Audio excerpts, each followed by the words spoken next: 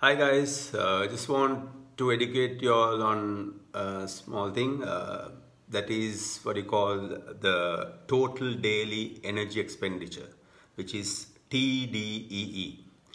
Uh, when you do exercise or um, maybe outdoor running uh, to lose weight, to gain weight or keep the same weight level, uh, this is very important.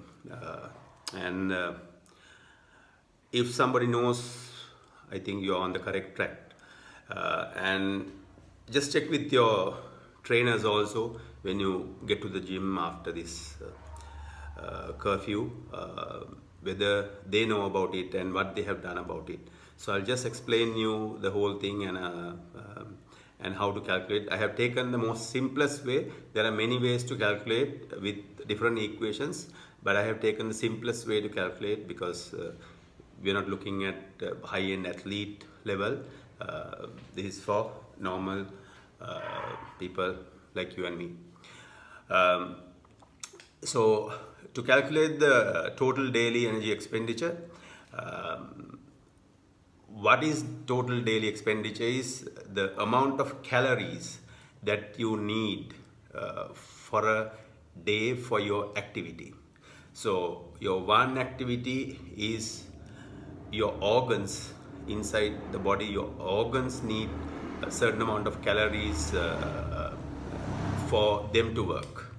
And uh, the next one is uh, um,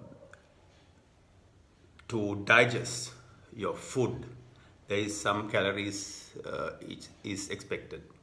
Then um, you may be uh, walking in the office, you know, going from um, home to office, maybe walking, uh, riding, um, anything that you do other than uh, real physical activity. So that is uh, another one that you need calories.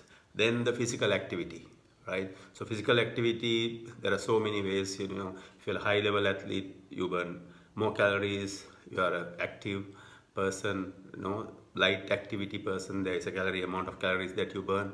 And if you are a person who is sedentary, uh, you don't do anything, so you don't burn in that way calories, right? So you need to consider all these four when you calculate the uh, total daily energy expenditure.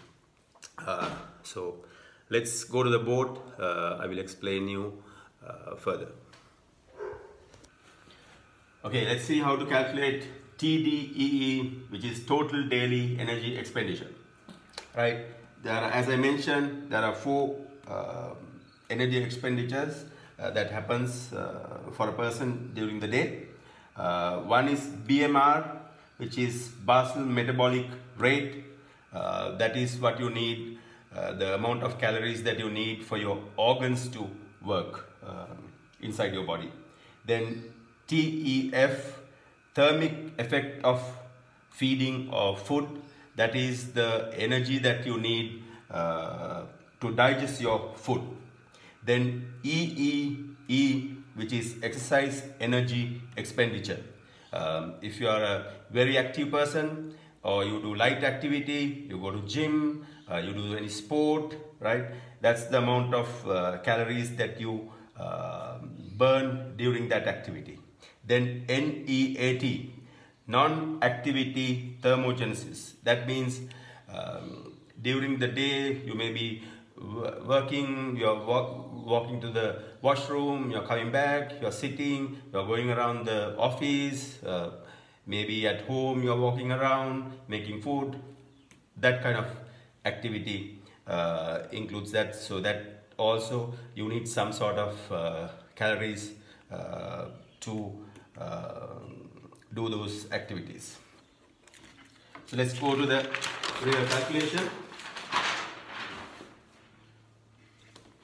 So TDD, TDEE equals BMR plus TEF plus EEE plus NEAT, right? Uh, let's take BMR.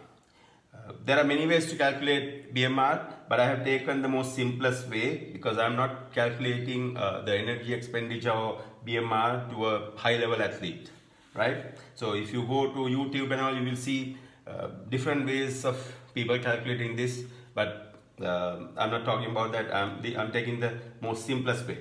So body weight into 20, that's the formula. So 20 is a norm, right? So I have taken my body weight, right?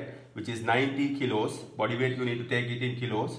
90 kilos into 20 that is 1800 calories. So my body organs to work during the day function well I need 1800 calories. Then uh, TEF right that is uh, to uh, the calories that you need to digest your food right which is uh, thermic effect of energy, right? Uh, so it's BMR into 0.1, right? So BMR into 0.1, 1800 into 0.1, which is 180 calories, which I need to uh, my food to di digest uh, 180 calories you need. Then I have taken myself as a uh, light activity person, right? Who uh, is a person who is doing light activity uh, like the workouts that I showed you during the last two days. So during those I may burn about 250 calories, right? Uh, so that's there. Then uh, the other one is non-activity thermogenesis. That is um, the, the, the other activities that you do during you walking to office, walking in the office, going to washroom, all those stuff um, we have put around 250 calories per day. Um, just think what you do during the day and uh, come up with a calorie count. It's about 250 uh, for average person. So you add 1800, 180, 250, 250. So my total energy expenditure for a day is 2480. 2480. So you need this much of calorie for your daily activity. So what will happen is now you need to know what how much calorie that you intake. Because if you don't take the calories which is shown here right you may lose lot of weight right? But you need at least this to maintain your body right? So when you go to the gym people will people need to know what is this. And accordingly your trainer needs to increase uh, this amount if you want to lose more weight. But make sure from your food minimum you take this this amount of calories. So that will give you a good idea. So people must be uh, thinking that um, they're not losing weight, you're not gaining weight, uh, all those things. So this is, you, you need to know this for that to happen, right? So thank you very much guys. Um, I'll come up with another video uh, when it comes to calorie intake, right? Thank you.